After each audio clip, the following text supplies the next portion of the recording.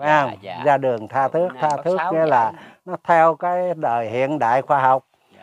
mà cái câu này Phật thầy Tang đã tiên tri hồi năm 1849 là oh, phải không? Oh. Mà ngày nay nó đã ra rồi mà ngày nói trước đây là một trăm mấy chục năm rồi hai trăm sáu chục năm phải không? Dạ. Trăm sáu chục năm sáu mấy năm gì đó. Phật thầy Tang đó đó chừng nào áo mặc nửa lưng ừ. Quần không có ống là bưng khuân tới đời tới đời. Đây là cái thời kỳ bọn gái mới ra đường tha thước nè. À nó là nó tha thước. À, mặc áo nửa lưng mà đà phật thầy tang đã đoán trước xưa rồi? Hồi xưa rồi một trăm mấy chục năm nay rồi. à, là tới thời kỳ này đó là bưng khuân nghĩa là sắp tới cái đời sẽ tới tận diệt. Tức là bọn gái ngày nay nó theo cái chuyện tha thước. Ừ. à, bỏ trơn nề nếp ông cha tức là khác tánh tình người cổ nước ta người cổ nước ta không có như vậy dạ, dạ, dạ. À, nên phải chịu đớn đau đủ cách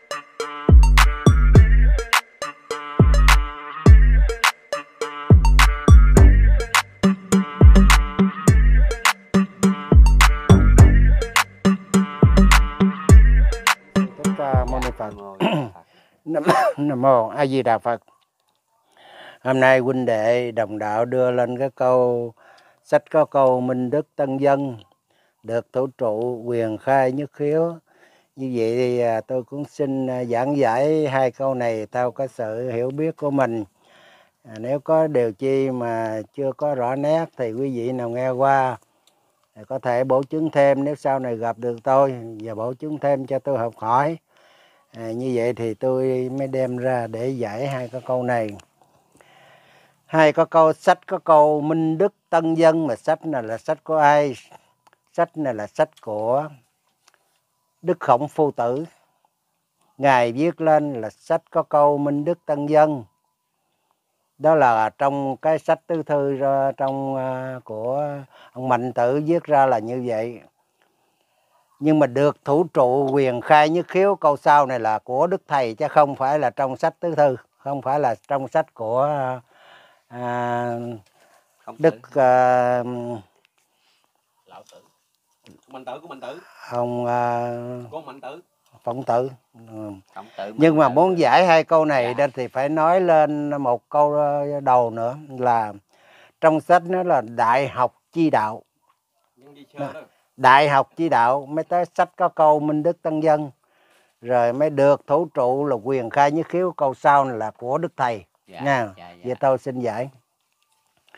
Bởi vì trong sách đức khổng phu tử ngài dạy đó sách có câu minh đức tân dân mà mình muốn được cái chỗ minh đức là cái đức mình sáng lên.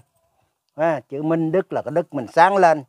Mà muốn được cái đức sáng lên đó thì phải lấy chỗ đại học chi đạo. Yeah tức là muốn học cái chỗ minh đức này phải vô học cái đại cái học cái cái đại đạo của của đức công tử nói, người học đến cái chỗ đại đạo của đức khổng phu tử mới có được chữ minh đức, mới sáng lên. Chữ minh đức đây là học cái đạo để cho mình sáng lên. Tân dân đây là đổi mới. Chữ tân là mới, chữ dân là người dân ưu tối. Học vào cái chỗ đại đạo của câu minh đức này của đức khổng phu tử để hành trì theo cái giới hạnh của đức phu tử đã dạy tức là cái người hành trì theo nhân lễ nghĩa trí tính và nói chung là trong cái đạo nhân dân dân là trong đó thầy mình đã dạy là trong đạo tứ ân. À, thành sách có câu minh đức tân dân mà được thủ trụ tức là chữ thủ là mình giữ lấy chữ trụ là vững chắc. Mình tu mà trong cái đạo thánh hiền thầy đã dạy mà vô học cái đạo này là để sửa sang con người mình từ cái những cái bợn nhơ những cái xấu xa trở lại là cái người đúng cái bậc mài râu quân tử cương minh chánh trực là cái người làm được cái chỗ minh đức mà chỗ minh đức này mà học được như vậy là đổi mới được cái người dân ưu tối là tân dân là đổi mới được cái sự ưu tối yeah. Dạ. ừ mà được thủ trụ như vậy đó là cái câu sau của thầy dạy được thủ trụ tức là thủ giữ thủ là thủ giữ trụ là vững chắc yeah. Thì mới quyền khai như khiếu tức là cái câu sau này là bên giảng thầy. Có nghĩa là chúng ta giữ cái cái đạo nhân cho trọn vẹn và hành trì cho đúng cái bậc là mài râu quân tử cương minh chánh trực. Và ngày nay đức thầy ra đời là chúng ta học thêm cái đạo pháp của thầy để thủ giữ cho vững chắc trụ cột này cho vững chắc. Dạ. thì sẽ được quyền khai. Quyền khai đây có nghĩa là người tu hành vững chắc tu hành à, đạt đến cái chỗ là quyền di sâu kính ừ. khai mở mình ra trong cái chỗ quyền di sâu kính yeah. Dạ. quyền khai nhất khiếu tức là cái năng khiếu của mình nó phát ra cái trí tuệ mà hãy phát qua trí tuệ thì một cái gì mình hiểu là không sai đó là như khiếu mà nếu ta không có phát ra được cái trí tuệ thì nhiều khi ta nhận định nó sai lầm mà ta đã hành trì theo cái cái cái đại đức cái cái cương thường đạo lý và đứng cái bậc tu mi quân tử rồi đó thì cái quyền di nó khai mở mình nhất khiếu tức là cái năng khiếu mình khai mở đến một cái đỉnh cao. Và cái người đã học cái đạo của Đức Khổng Phu Tử hành trì rồi cộng thêm ngày nay học thêm cái đạo của Đức Thầy để hành trì cho đạt cái đỉnh nữa là cái người mở miệng ra là nói toàn là qua thơm bát ngát cái không có những cái điều sằng bậy của thế hệ nữa thì yeah. Dạ. cái người này sẽ được đổi mới tân dân là đổi mới dân là đây là cái người dân trong lúc u tối mà học được cái đạo lý của thánh hiền và học được cái cái cái đạo cương thường của thầy đã dạy ra thì thủ giữ như vậy thì mình sẽ đổi mới được cái ngu dốt cái u tối cái phàm phu là chỗ này là chỗ tân dân yeah. Dạ. giữ mãi thì được thủ trụ thì cái quyền khai tức là cái quyền di nó khai mở con người tới cái chỗ thông minh đỉnh đạt và đi sâu vào chỗ hiểu biết yeah. Dạ. của của mở ra cái chữ hiểu biết của người dân thôi tôi cũng nói tán dạ. gọn là vậy, vậy là, nam mô a di đà phật là ý nghĩa là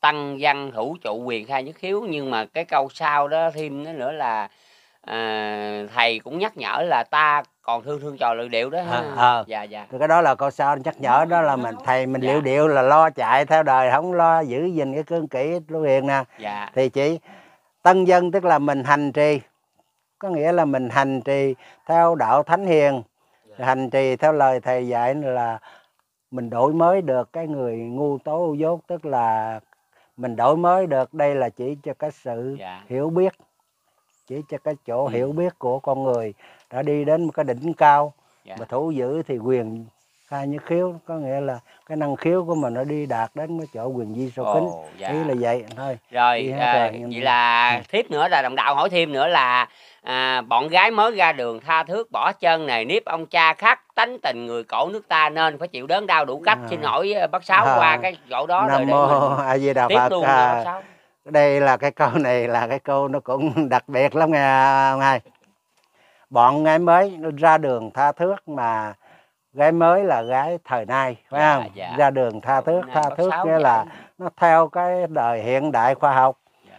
mà cái câu này Phật thầy Tang đã tiên tri hồi năm 1849 là oh, phải không? Oh. Mà ngày nay nó đã ra rồi mà ngày nó trước đây là một trăm mấy chục năm rồi hai trăm sáu chục năm phải không? Dạ trăm sáu chục năm sáu mấy năm gì đó Phật thầy tang đó đó chừng nào áo mặc nửa lưng ừ.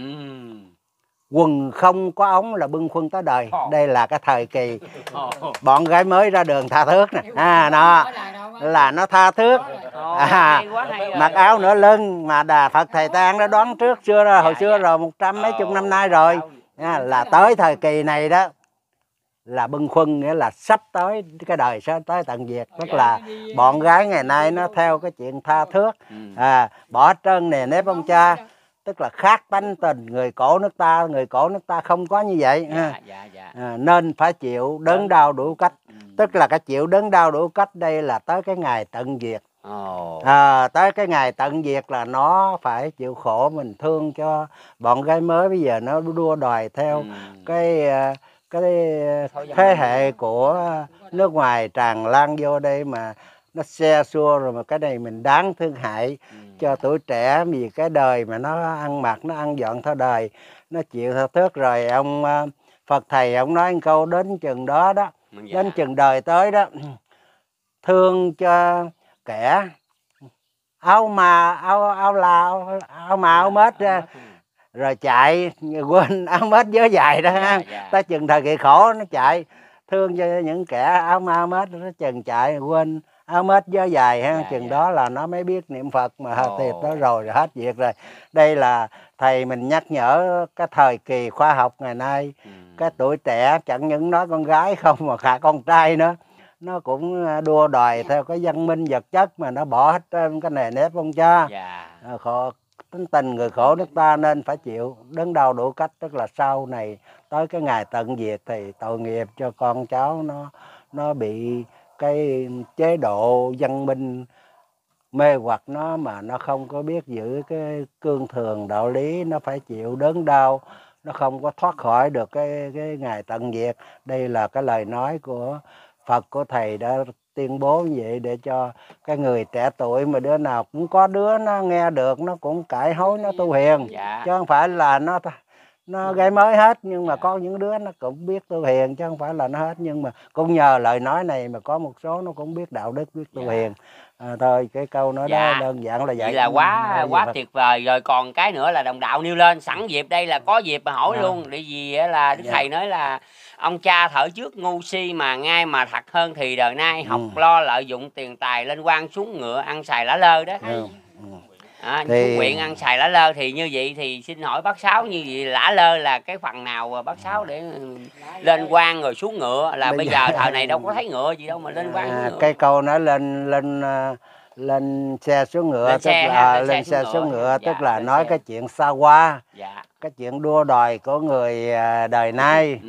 là ngài dụng cái từ lên xe xuống ngựa là nói cái chuyện lên mà quan xuống huyện ăn xài đã lơ à, là ăn chơi thả thích dạ, lên quan xuống huyện à, à, lên quan xuống huyện ăn xài đó thôi ừ. tức là nói cho những người đua đòi học dạ. hỏi để mà lên quan xuống huyện tức là những cái phận này muốn có chức phận cao sang dạ. à, muốn đua đòi ừ, lã lơi tức là thời này cái tiếng lã lơi đây đó là cái chỗ mà chơi thời này đấy chơi bời đó là một việc mà lã lơi là bây giờ cái chuyện lã lơi ngày nay đó dạ.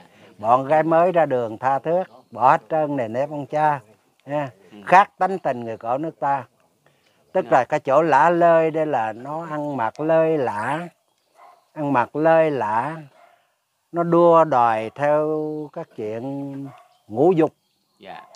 Nó vui say trà đình tửu điếm bây giờ oh. thiếu cha gì ha ừ. đó, là lả lơi đó. thành ra lên quan xuống huyện ăn xài lả lơi tức là lên quan xuống huyện đây là nói về chức vụ dạ. kiếm tiền cho nhiều để mà ăn xài lá lơi oh. mà không kể gì tội lỗi ừ. nhưng mà nhưng mà cái đồng tiền mà nó làm việc lên quan sứ huyện toàn là đa số là nó móc túi của dân đúng ra cái dân tộc Việt Nam là dân tộc rất dễ làm giàu, phải không? Nhưng mà vì thế hệ ngày nay đó, làm lớn thì hối lộ lớn, làm nhỏ hối lộ nhỏ. Móc túi nhà nước, móc túi của dân. Mà nó ăn xài lả lơi, nó không ờ, có kể là cái khổ của dân mà đất nước phải chịu. Nghèo vì cái bọn này có thể nó rút hết phân nửa cái cái kinh tế của của đất nước để mà nó đem về. Bây giờ mấy chú cũng nghe là trên à, mạng trên đài nhà nước đã công bố khai trừ những cái bọn mà à, tham ô dâm lại thiếu trai một người mấy chục tỷ mấy trăm tỷ không à đó mà những cái bọn này nó lợi dụng năng xài lạ lơi rồi dạ. con cháu nó cũng có sẵn tiền nó xài đây là à, Phật nói cái cơ tận diệt đến Ồ. thời kỳ nó phải xảy ra những trường hợp như vậy dạ. nó đây là cái câu nói đó là ý nghĩa là Phật cho biết cái thời kỳ nó sẽ đi đến là như vậy mà ngày nay nó đã trổ mặt ra là như vậy rồi. Dạ. thì bây giờ ai có hiểu được cái đạo thầy thì phải sửa đổi lo tu hành. Dạ. Nam mô a di đà phật. Ồ quá hay quý vị ơi. Coi tiếp theo nữa là đồng đạo hỏi tiếp nữa là bốn câu nữa là qua là cái câu này thâm sâu di diệu mà đó, trong đó. khoan để đồng đạo hỏi hết xong rồi tới đệ. À như vậy thì à, đức thầy cũng có nói mà khi mà đồng đạo hỏi lên thì à, đây cũng sẵn có dịp gặp nhân viên bác sáu rồi chứ không phải đương không mà gặp được bác đâu. Cái điều này là khó gặp lắm. Mà sẵn dịp bữa nay mà quý vị mình ở dưới ai có cái gì cứ đưa lên đi rồi một hồi là trả lời hết. Như vắng mà. Như vậy thì có đồng đạo nêu lên là đức thầy nói là thằng gắn sức ra công khuyến dỗ dình thuần phong mỹ tục của rồng tiên tập ở ăn theo nết thánh hiền lòng, lòng tu tỉnh dòm phật tiên nói chí Ừ. như vậy là gắng sức thằng gắng sức là ai gắng sức ra công khuyến dỗ nhờ cái câu đầu nó lại nó lại thằng gắng sức ra công khuyến dỗ thăng ha. Thằng thằng là một vị một vị thần đó. Ừ. thằng là là, là mình chỉ thần thần. thần. Thần thần đây là nói thần tiên. Dạ thằng À. tiên.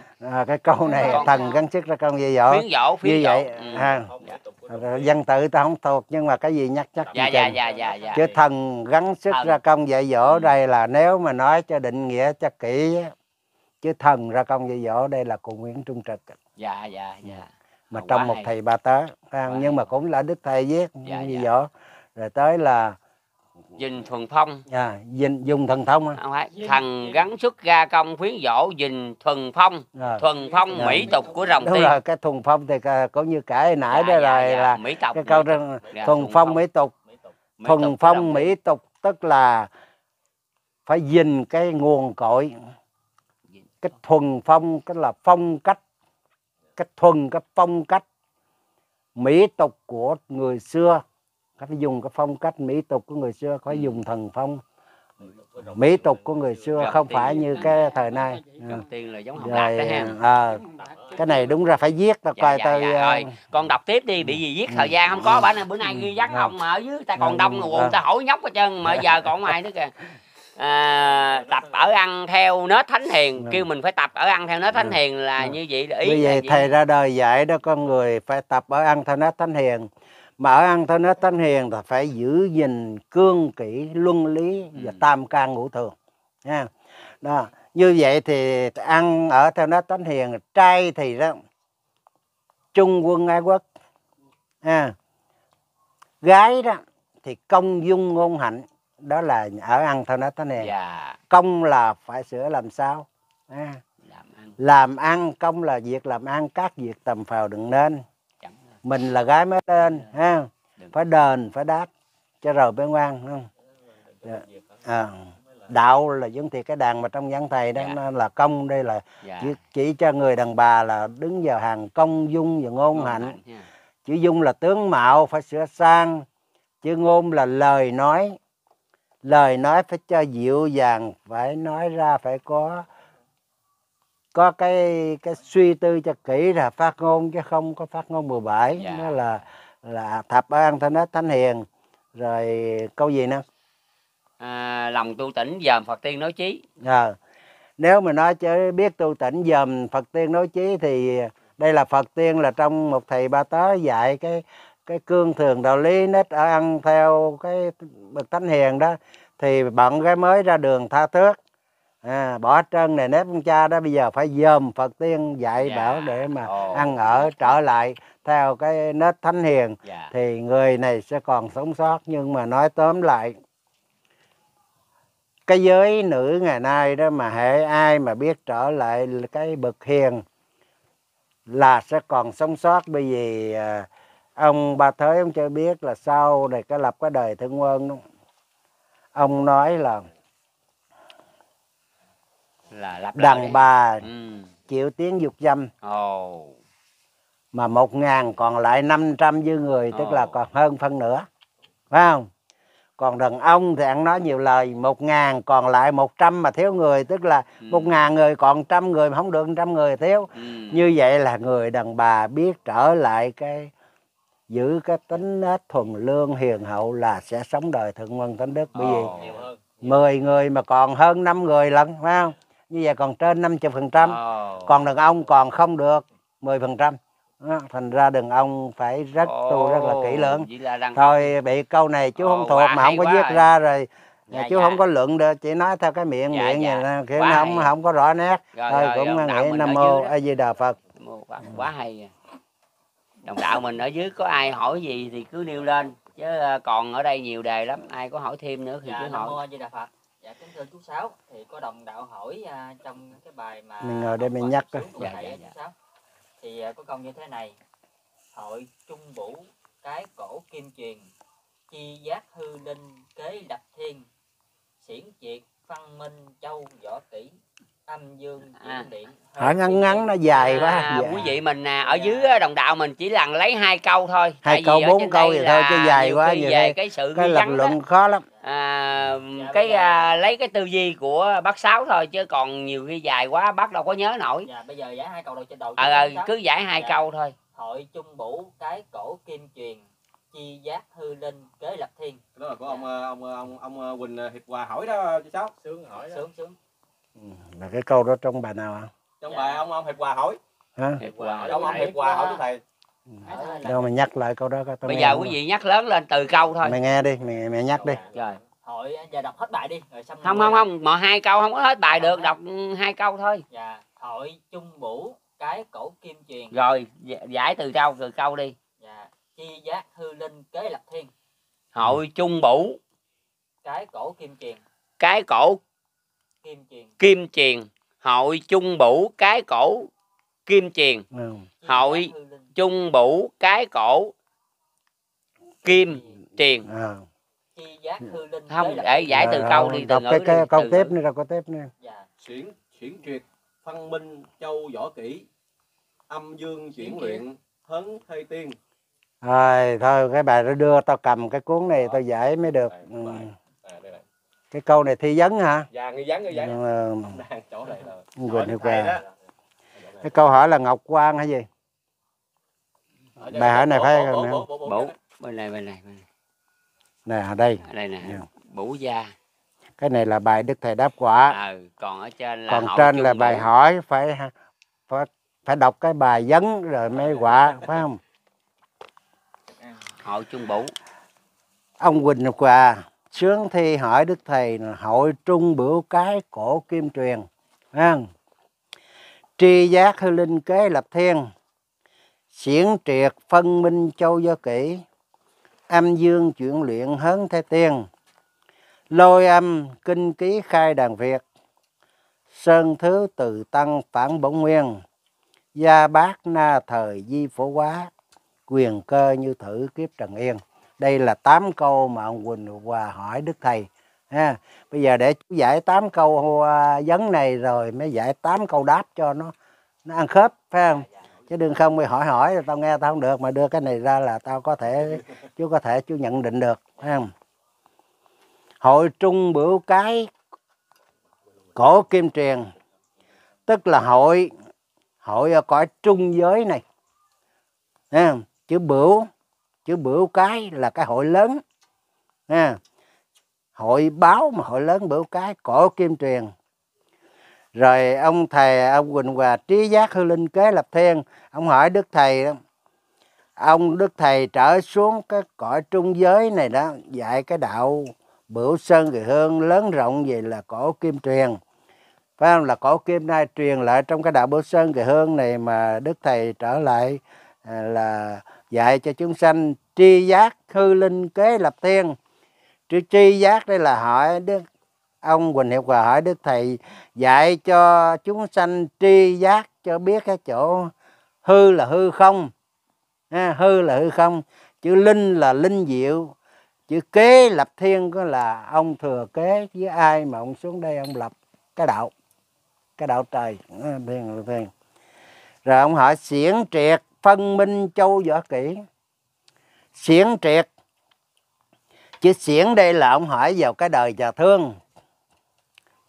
Xiển giáo và triệt giáo, phải không? Xiển triệt tức là ông hỏi đời nhà thương, xiển giáo rồi triệt giáo đánh nhau.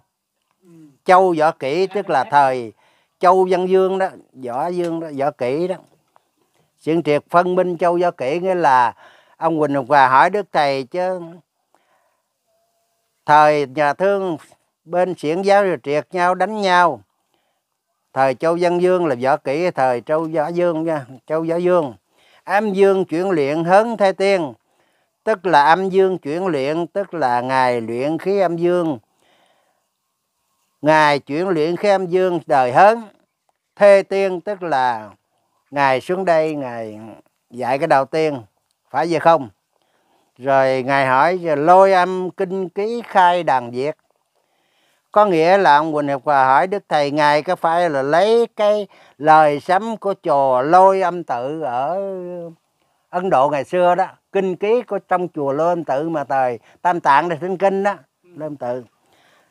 Lôi âm kinh ký tức là kinh đã ký ấn trong cái thời lôi âm của thời Phật Thích Ca đó. Khai đàn Việt đem xuống đây để khai mở cái cái cái đạo tràng, cái đàn Việt mà dạy chúng sanh không? Rồi hỏi đức thầy cho ngài có phải là sơn thiếu? Từ tăng phản bổ nguyên. Sơn thiếu đây có nghĩa là linh thiếu sơn ha. từ tăng phản bổ nguyên, tức là ngài hỏi đức thầy có phải là ông Mahakajip trở lại không? Phải không? Ý ngài hỏi vậy đó. Từ tăng tức là ông tăng hiền từ, tức là chỉ cho Mahakajip mà ông, ông Quỳnh được và hỏi đức thầy có phải là ông Mahakajip trở lại đây hay là không thấy không? Gia bác na thời di phổ quá chữ gia bác đây đó là gia là nhà bác đây là một nhà bác học. Na thời là một thời gian đi giáo hóa. Là ông Quỳnh Hợp Hòa cho Đức Thầy là một nhà bác học na thời di phổ quá là đi dạy đạo chúng sanh Nghe không? Quyền cơ như thử kiếp trần yên, chứ quyền cơ như thử đây là nếu quyền cơ mà như vậy, chứ thử là vậy. Nếu Quỳnh Hiệp Hòa hỏi nói Đức Thầy mà nói chuyện quyền cơ mà y như vậy đó, thì kiếp trần sẽ yên ổn, Thấy không? ý ông Quỳnh Hiệp Hòa vậy. Rồi Đức Thầy mới đáp quả bố tám câu nè, để giải như vậy nó mới ra nét phải không? Bữa ra năng hối thế gian truyền, tam thế hư không tế kiệm thiên nha. Nhân ngã hạ quân phân bất kỷ, quy hồi thượng cổ bút thê tiên. Chất âm thinh sắc phi tiêu diệt, bài phỏng liêm gia bé hậu nguyên. Lập chí hiền nhu đương kế quá thi thần ký chú định hòa yên. Đây là bài vấn và bài đáp, thấy không? Là bài vấn nãy là chú giải rồi, bây giờ giải qua cái bài đáp nha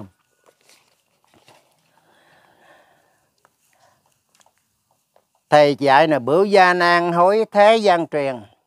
Thấy không? Mà ở trên này là hội trung bửu cái thế gian truyền, chứ truyền nó ăn trước rau nè. Mà thầy giải dưới này, bửu gia nan hối thế gian truyền. Chữ bửu là chữ báo. Chữ bửu là chữ báo, chỉ cho cái đạo, phải không? Chữ bửu là chữ báo, chỉ có đạo. Cái gia đây là chỉ cho cái nhà cái nhà đây mà không phải là cái nhà ở, mà chỉ cho cái nhà là cái thân chúng ta. À. nan hối nan hối là khó hối. Chúng ta bị nhiễm danh lợi tình từ vô thủy đến bây giờ, nên khó hối. Là thế gian truyền là con người bị vô minh từ vô thủy tới giờ. Thế gian truyền tức là thế gian nói là, thế gian truyền rằng là khó tôi hối để mà tu hiền được tức là bửu gia năng hối thế gian truyền. Thế gian truyền tức là cái người tu hành không thể thành phật được. Ý nó nói vậy, phải không? Mà thầy mới trả lời thêm là tam thế hư không tế kiệm thiên. Tam thế đây có nghĩa là chư phật ba đời. Tam thế là chư phật ba đời. Hư không tức là hư vô. Chư Phật ba đời nói trong chuyện hư vô. Chữ tế là một cái vi tế. Một cái vi tế kiệm là nhiễm nhặt thiên là trời. Tức là Phật trên hư không ba đời đều thuyết luật nhân quả, nhiễm nhặt nghiêm minh. Di tế một dự nhỏ nhặt như cái hộp bụi về là cũng có luật nhân quả nằm ở trong đó đó. Là là thế kiệm thiên tức là kiệm kỹ, thiên là trời, thấy rõ hết tất cả các cái pháp mà nó nằm trong định luật nhân quả đều có hết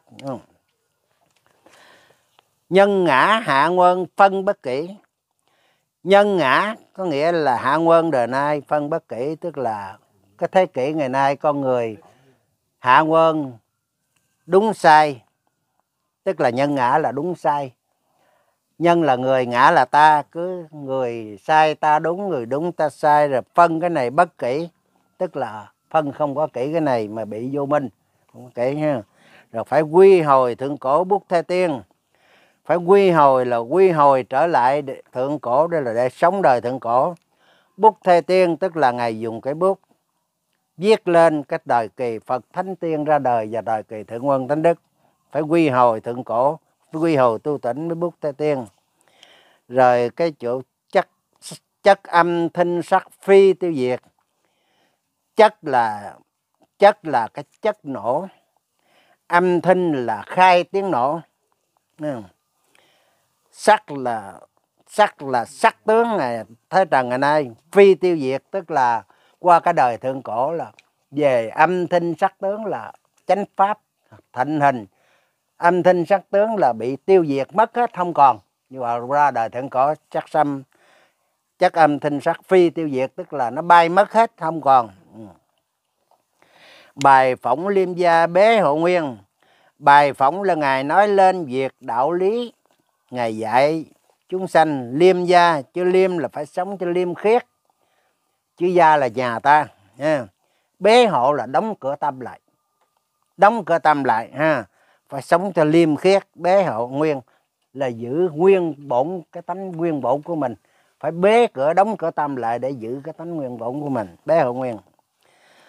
Lập chí hiền nhu đương cái quá, lập chí hiền nhu tức là lập chí để dạy người hiền lương nhu nhã mà thầy đương cái quá thầy mới cái quá ra để thầy đương dạy chứ à, thi thần ký chú định hòa yên. Thi thần đây là thi thơ của bậc thần thánh phật tiên.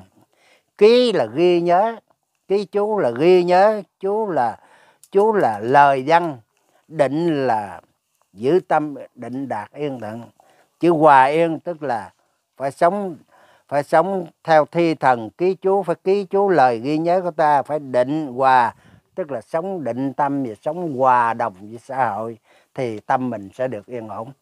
Cái cái lời dạy của đức thầy là vậy. Đó là tám, tám câu quỳnh được hòa ông hỏi là như vậy. Thôi chú cũng trả lời nhiều thôi rồi nam mô di đà phật. Không thuộc giảng nhiều thì tôi phải cầm dạ, cái dạ, này dạ, tôi coi để tôi vì, dạy. à, bác à, gia vô bế hộ im liềm lập thành mẫu đạo rõ điềm xưa kia.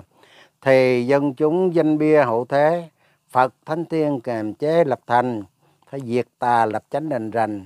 Ba màu nắm chặt là năm thành sự phân. Đó là hết một đoạn văn đó. Ha như vậy để tôi xin giải cái chữ gia vô bế hộ em liềm là thế nào? Không? chữ gia đây là dụ cho nhà ta.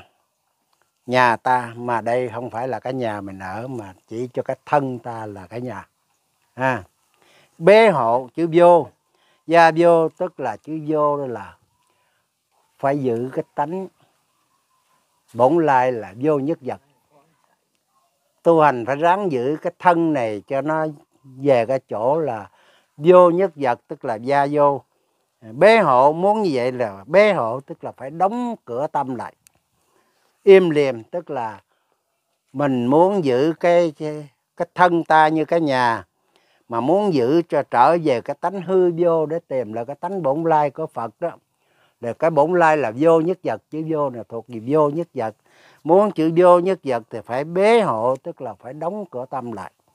Phải đóng cửa tâm lại im liềm để mà trì chú hành đạo. Như bế hộ im liềm à, mới lập thành mẫu đạo rõ điềm xưa kia tức là mình phải đóng cửa tâm mình lại im liềm là lập thành mối đạo là lời thầy dạy, là thầy lập thành cái mối đạo mới rõ điềm xưa kia. Tức là mình phải hành trì theo mối đạo của thầy dạy để biết được những cái cái việc xưa kia là gì.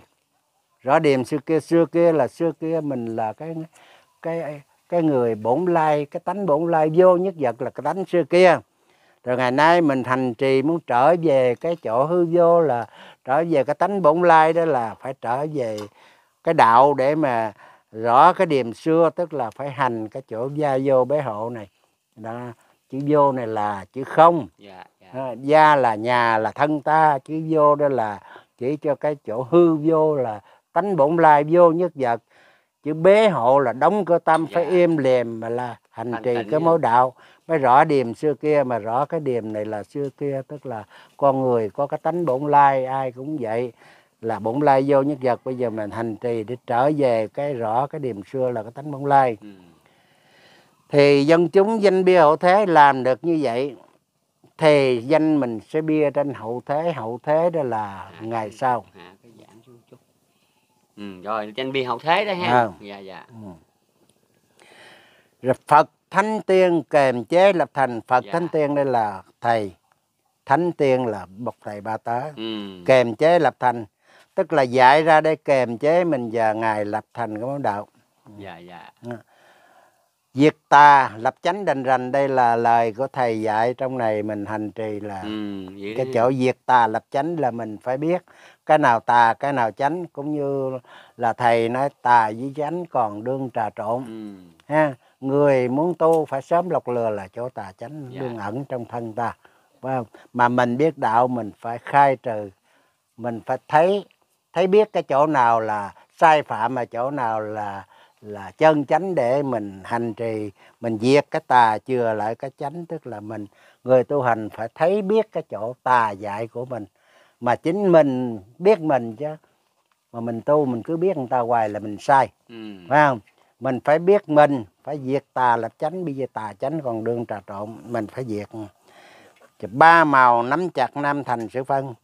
Ba màu đây đó là chỉ cho tôn giáo tam giáo quy nguyên À, nắm chặt. Nắm chặt tức là thời kỳ tam giáo quy nguyên nắm chặt. Nam thành là tới thời kỳ thành trì đất nước Việt Nam nổi lên là là người thầy mới dưng lệnh trời để mà diệt tà lập chánh xử phân.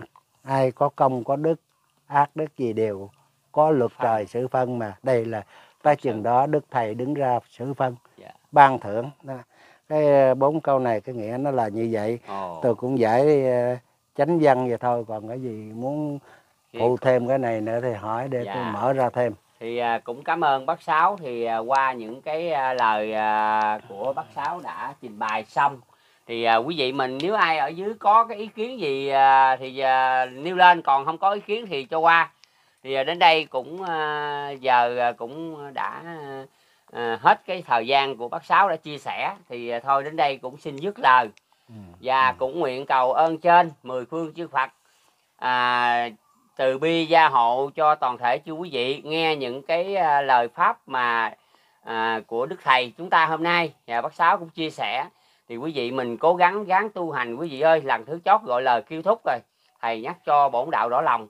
Thì đến đây cũng xin dứt lời. Và cũng cầu chúc cho quý vị mình được uh, cố gắng niệm Phật và ăn chay và làm lành và tinh tấn tu hành cho đến ngày thành công đắc đạo. Nam mô A Di Đà Phật. Nam mô a di đà phật. Thôi, cũng chúc cho bà con